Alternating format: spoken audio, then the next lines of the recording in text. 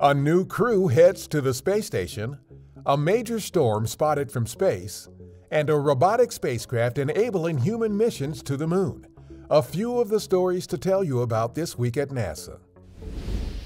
On August 26th, a SpaceX Dragon spacecraft launched to the International Space Station on NASA's SpaceX Crew 7 mission.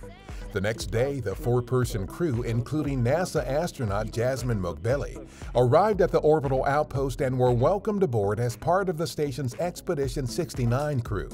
They will spend about six months conducting research and technology demonstrations on the space station to benefit life on Earth and future Artemis human exploration missions to the Moon and eventually to Mars.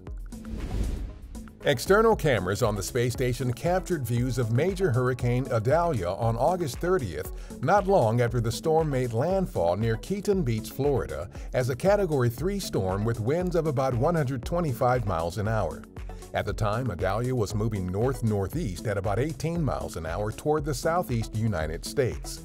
Prior to landfall, the system had reached Category 4 storm status with winds of about 130 miles an hour.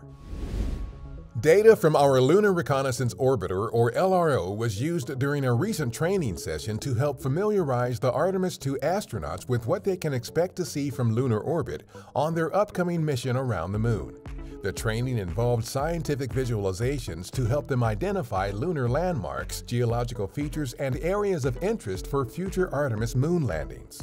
LRO has returned a treasure trove of scientific data during its 14 years of observing the Moon. August 30th marked the 40-year anniversary of NASA astronaut Guy Bluford becoming the first African American to fly in space. He flew aboard Space Shuttle Challenger on the STS-8 mission, the first night launch and night landing of the Space Shuttle program.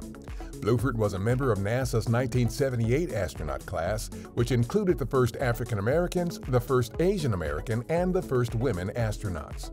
That's what's up this week at NASA. For more on these and other stories, follow us on the web at nasa.gov/twan.